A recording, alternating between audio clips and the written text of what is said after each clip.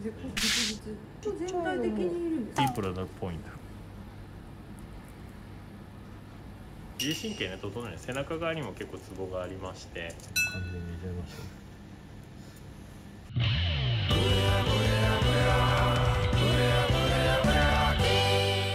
ハリケーンからこんにちはハリこちらです。今日もモデルのナソです。はいよろしくお願いしますはい、ちょっと明日から講座なんで講座の装飾がありますけども、まあ、ここは気になさらずにそのまま行きたいと思いますけども、最近なんかちょっはい。と寒暖差が激しいですけどなんか多分それの影響か寒暖差アレルギーというやつなんですか？湿疹じゃないんですけどなんかあの湿疹っていうんですか？湿疹じゃないんですか？湿疹湿疹ですか？その赤いそのちっちゃい点々みたいなのがはい。肌にたくさんできていて、はい。内ももとかちょっと肌の柔らかそうなところに結構できてて、でなんかもうちょっとこれよりもうちょっと派手な皮膚が少しこう盛り上がってるようなそういう状態のものまで最近できてきてななんか特にかゆいとか痛いとかはないんですけど見てて嫌だなってう。ん。これもう完全に自律神経の反応ですね自律神経の乱れとかあったりとかするとちょっと寒暖差のアレルギー出たりとかもするんですけども、一応あの皮膚科さんにも見てもらって、まあ、問題なくて経過観察っていうことなんですけども、うん。そういった、ね、特に、まあ、かゆかったりちょっとひどくなったり効かないようになったら来てくださいっていうことはね、まあ、よくある話なんですけども、まあ、奈緒さんも行かれてますけども大体自律神経の乱れだったりとかするのでやはり自律神経を調整しながら肌を落ち着かせるようなことをしていくと結構赤み取れたりとか反応がね柔らかくなったりとかしますので、まあ、急速に改善できるようにちょっとはい。サポートしたいなと思いますでまた停滞するようだったらまた皮膚科さんにも行ってもらってチェックするといいんですけども、まあ、薬よりも経過観察っていうパターンが多いのでそういう時には早く寝てくださいとか お風呂入ってくださいとか食べ物気をつけてくださいってそういう感じじゃないですか。でもそれ気をつけられてるんで、まあ、そこの流れを整えてね治療するといいのでそれをやっていきたいと思います。それではこう。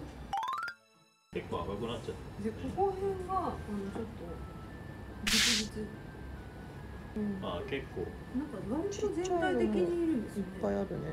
やっぱりあれですか寒いところに出て戻ってきてうん。なんか赤くなってっていう感じですか？お風呂入る時とか赤くなって昼間はねずっともう厚着してるから自分の足を見ることがないので、気づくのはお風呂入る時ですよね。でこういう湯のちょっとした赤みとかは水素生態にすると結構綺麗ですね、火ですね火。ちょっと胃腸の調子悪いとこがね火とは。そうです。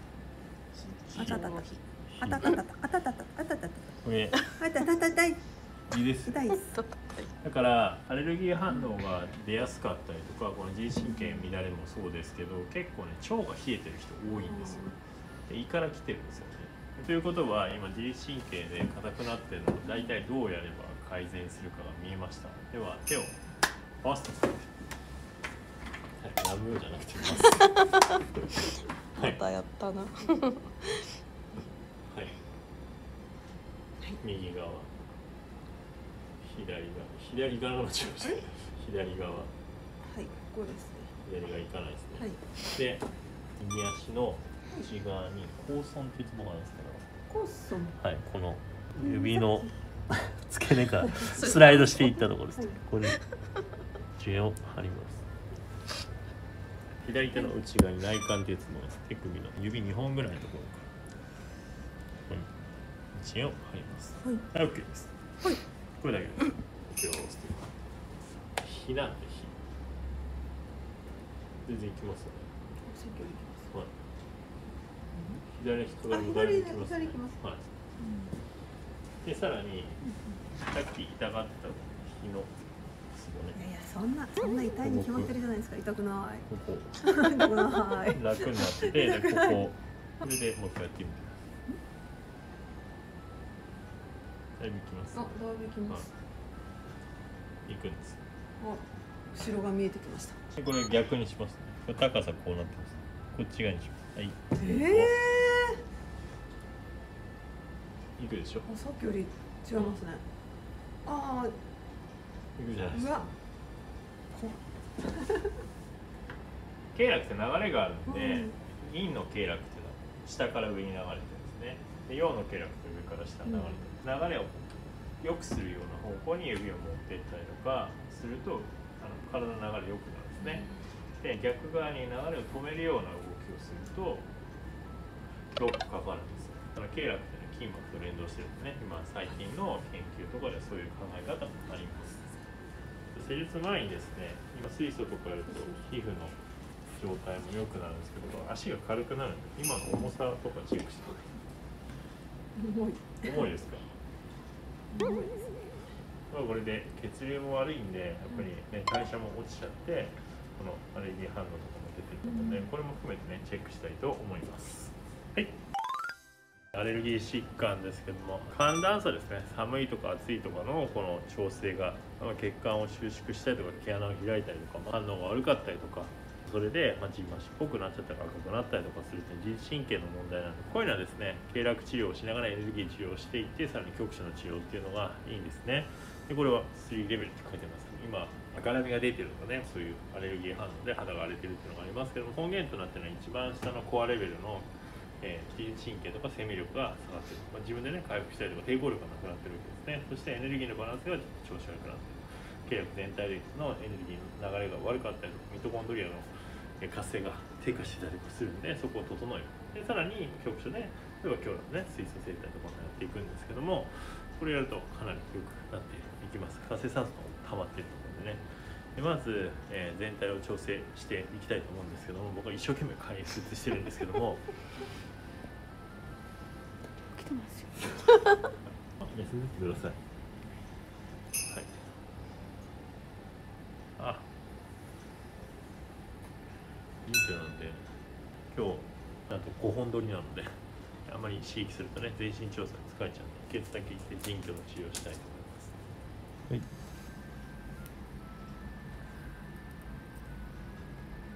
はい。はい。あで全体やっぱり腸のエネルギーが上げた方がいいんで 4K で直します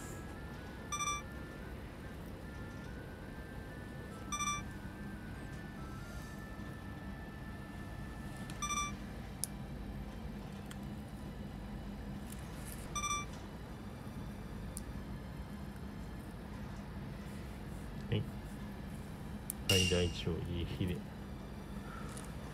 会員両面経経絡あとですね。ストマークポイントね脳に感触があってそこをやるとですね非常に回復が早くなりますので。ディープラダックポイント回復ポイントですね。これを使うのとあとですね胃腸を整えるストマークポイント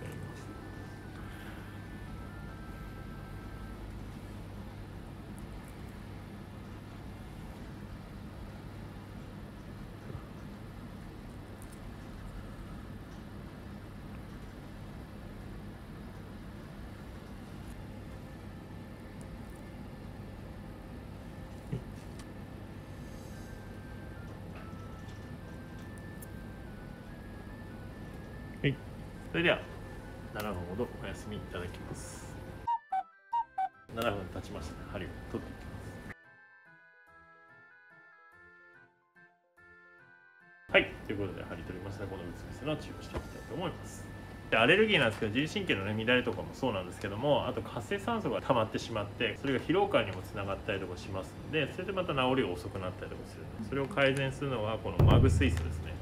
マグ水素。こマグネシウムの中にですね急増という形でまあ高圧をかけて水素がですね入ってます。マグ水素っていうものを使って施術していきたいと思います。では全体に塗布していき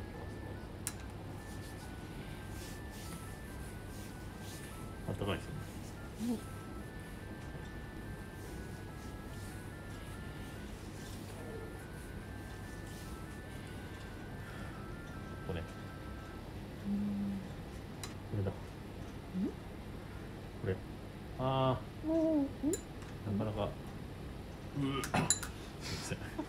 邪気が激しかった。あすいません。これです。大丈夫ですか？大丈夫ですか？はい大丈夫ですか？はい。はい大丈夫ですか？なんとか。はい。でここで空気中の酸素を触れないように。アルミ焼き芋になってしまう焼き芋焼き芋うわー目が覚めたらきっと焼き芋なんだはい。焼き芋のコスプレです。問題のちょっとアレルギーになってる足ですね。これ全体塗ると良くなります。皮膚疾患でもすごくいいんで。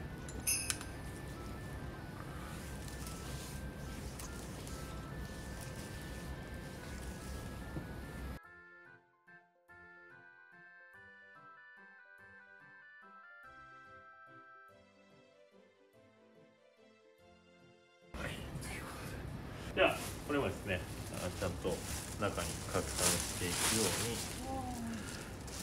うに焼き芋にしていきたいと思います。全身アルミホイルになっちゃ はい。それでは時間になりましたので焼き芋取っていきます。焼き芋アルミを取って。では針をしていきたいと思います。それでは自律神経ね整える。背中側にも結構ツボがありましてここら辺ね交感神経なんですね。交感神経でで頭線交通系ってそこが自律神経のこれ両方ですね強い針じゃなくて軽く刺激してあげるとですねリラックスしてこう自律神経整うこれを治療していきますね。でも水素で結構緩んでますんで足側もえ代謝上げるようにちょっと針をします。はい。でこれはのぼせ予防にもなってます。入れましょう。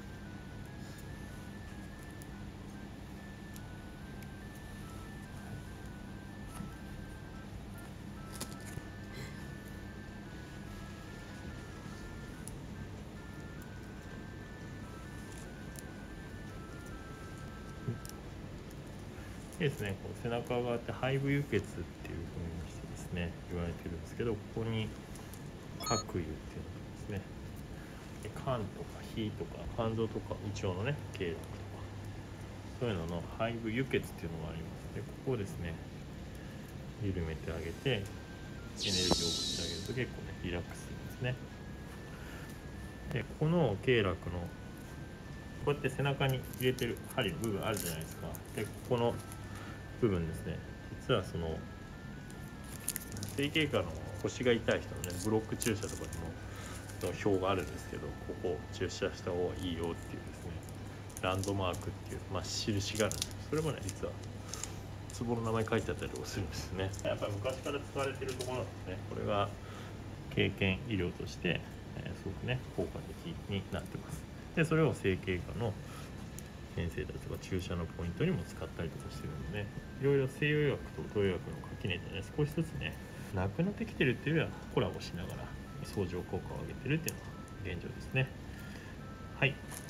ではこれで当線系の、えー交感神経を高めて交感神経をちょっと落ち着かせるという治療をしてですね。10分ほどお休みいただいてそしてアフターですね見ていきたいと思います。時間になりましたね。針を取っていきます。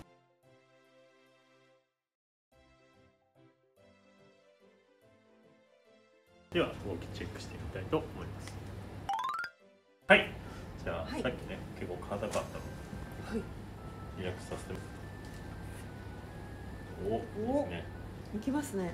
はい。いきますね。全然い。きます、でさっき足の代謝も悪そうだったんで、それも水素で、まずね皮膚疾患を改善させるのもやってますけども、立っていただいて足を見してみてください、足をはい、さっき重だるかったですね。軽いです。あれ血流悪かったんでこれ改善した方がですね代謝が良くなって、うん。えー皮膚疾患も改善します。なんかはい。鉄下駄からエアマックスって感じです。下からやばくてえらい変化ですね。軽いですすごい表現が。ありがとうございます。はい、ということでですね、皮膚疾患とかもちろんね、アレルギー疾患とかは、まあ、皮膚科の先生に見てもらうのは大事なんですけど、まあ、なんともないとか問題ないとか、様子見っていう場合ですね、こういった施術を掛け合わせるとですね、すごくいいです。あとですね、結構重金属だったりとか、鉛とか水銀とかですね、そういうものを、えーで人間ってねどうしても魚とか食べてると取っちゃったりもするんですよね。生魚とか。なのでそういうものをデトックスするための今デトックスサプリとかも開発していますんでぜひですねクラウドファンディングまた始まりますんでキャンプファイヤーっていうサイトを使いますんでアカウントだけぜひ作っておいて、えー、ください。はい。ぜひ応援いただければなと思います。皆さんねこのデトックス足りないと思うんで あのそれで荒れちゃってるところもあってねはい皆さん応援できたらなと思います。はい、ということで、ちなみには横浜元町と銀座にありますんで、こういったあのアレルギーとかね、あの施術を受けたい方、横浜元町から銀座院にお問い合わせいただければと思います。概要欄の LINE からお問い合わせいただければなと思います。またですね、他にも、まあ、こういった施術ができる先生方はですね、全国に会員さんがおりますので、会員さんご紹介できますので、概要欄の LINE からお問い合わせいただければなと思います。他にも施術動画ですがセルフケアの動画を配信してますので、次の動画もご覧いただければと思います。チャンネル登録高評価の方でもよろしくお願いします。こんにちは、なほです。えっ、ー、と、先日の肌荒れ、湿疹みたいな、えっ、ー、と、肌荒れみたいな、なんですけども、おかげさまで髪の毛はやばいですが、えっ、ー、と、はい、あの、ほぼ跡形もなく、えいなくなって、えいい感じにスキンケアできています。ありがとうございます。それではまた。失礼します。は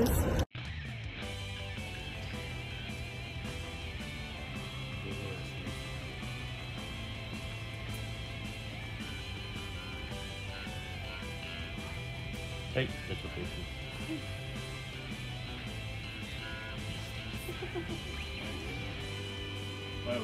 一瞬でしたね。え？何でやったか分からない。三本終わりましたよ。